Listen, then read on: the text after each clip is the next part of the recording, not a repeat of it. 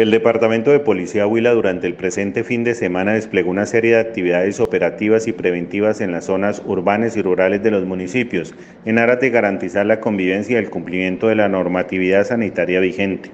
Dentro de los planes operativos fueron judicializadas 25 personas por los delitos entre los que se destacan fuga de presos, hurto, violencia intrafamiliar, tráfico de estupefacientes, lesiones personales, violación a medidas sanitarias y otros delitos.